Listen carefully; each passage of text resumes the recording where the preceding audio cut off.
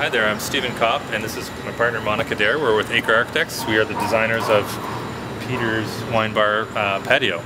For Happinez Wine Bar. And uh, I guess we can take you through some of the, the design parts that may not be obvious on the first take, but some of the considerations of how do you build something new, first of all, on a really in a heritage district, and then another thing is how do you build small and what were the, the challenges in this project? So I'll tell you a little bit about that. So as you can see, it's a tiny patio. We had four and a half feet to work with here.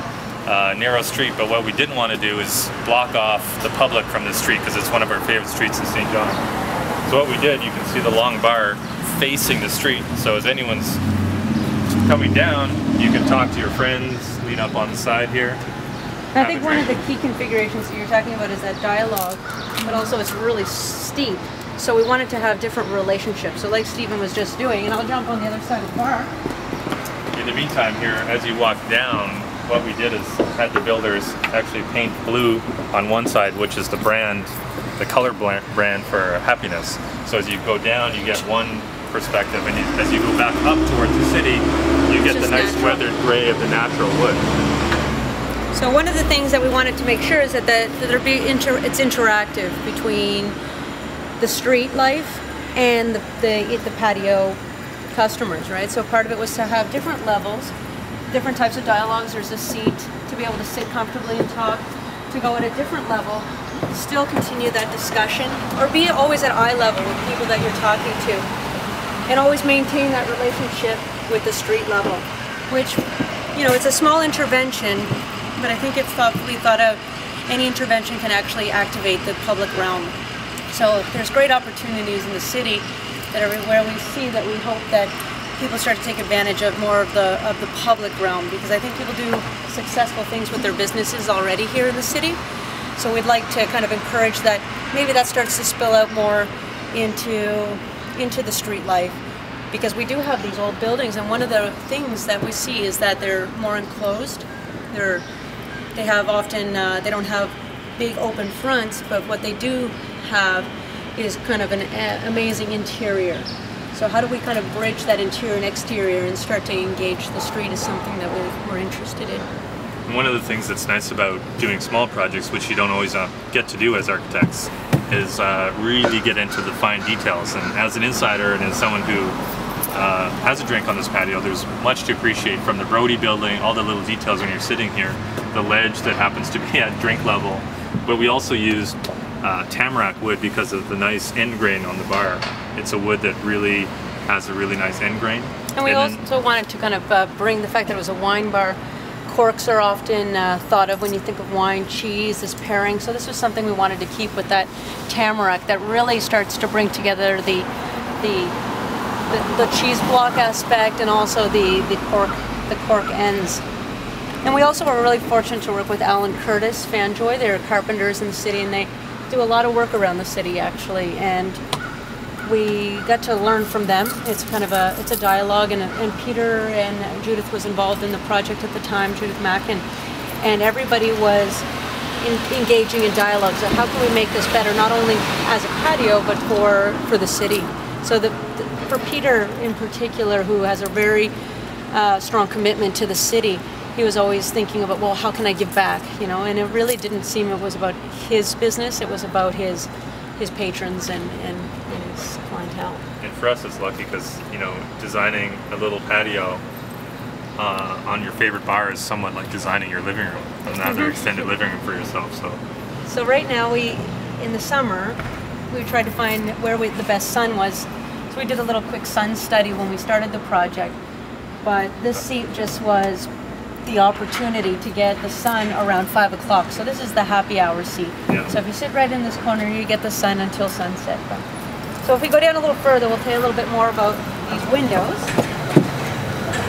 So Judith and Peter, one thing that they wanted to do was incorporate some sort of um, greenery and, uh, and liveliness to the project, but seeing it's going to be something that's not maintained all the time, that can just stay out one thing we wanted to do was to have glass not block the light into the wine bar because it is a small space in there.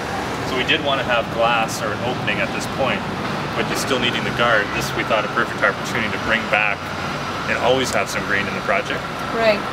And also keep the light into the wine bar, like you were saying. Yeah. And keep a little bit, uh, keep a little bit of lightness. I think one of the things, if you look at the patio at an acute angle, you can't see in.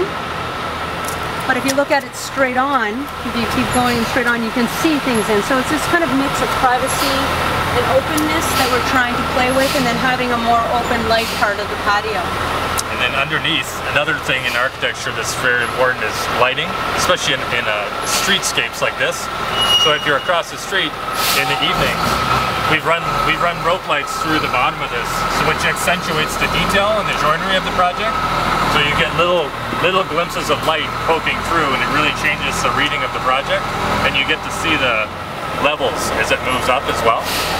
The joinery for this project was particularly, it's kind of loud, sorry, this is Saint John downtown. The joinery for us was important in this project.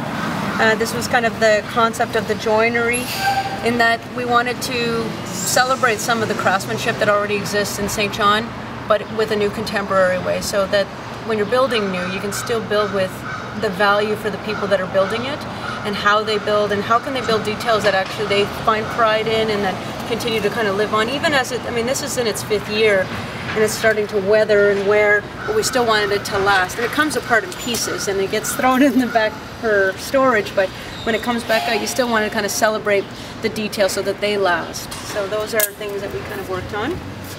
This little piece over here even though we don't condone, condone smoking, was designed for smokers. and it also extends the bar out, which allows the waiters and waitresses to come and serve without coming onto the street. So this, this was intended to be able to put a wine glass in. There is an ashtray that's missing. There's right a glass we'll ashtray that will be there. And you can put your wine glass and still be part of the patio and not feel like you have to go off in the distance. Yeah. Even though you shouldn't be smoking. And then I think um, as you can see here, so you can see the different levels. It was quite steep. So in a way, it was a very big challenge for us to try to, to envision how do you fit a, a, maximum amount of people but still feel comfortable and engaged. And it's really, you know, it's amazing. It's a testament to the to the camaraderie here of people that drink at the wine bar too. But they pack themselves in there, and you know, and there's a really and real quality of. Uh, of uh, a culture of wine that really starts to celebrate itself out here, which is nice. And um, we'll show you one last thing. Um, I think one thing too is it's easy to think about the patios just here, but the wine bar is really what it's about, right? So looking out was also a very important thing to make sure that we weren't uh, taking away from the beauty that already existed inside the wine bar and to kind of complement it. So we'll just show you of you looking through the window and some of the considerations there. So. And I think having uh, one of the nice things about having a client like Peter is that he lets you think about all of the important aspects of the design. And part of it was really thinking about well, what do the what did the people feel like inside the wine bar, and as they're looking out. So consideration for all the details, not just when you're on the patio, but when you're inside, what are you looking at all the time? And this one you can see a lot of the wood detail, and then the other one you see the window right through. So you know, it was a great opportunity for us to, to work with such great uh, patrons, I guess, and, and carpenters. We feel privileged to be able to work with, yeah, like Monica said, Peter and Judith on this project. But not only just the great clients, but to be able to contribute even a small patio like this to the fabric of Saint John and this great street being Princess Street in the city. So we hope this continues a trend for bringing back uh, liveliness to the street, which the, uh, the wine bar is helping. Yeah, and Peter, I mean, Peter gives so much to this community, and we feel it, and it comes alive. So we we like that that can that that can continue in its architecture. So this is just a translation of, I guess, his vision as well. So, thanks.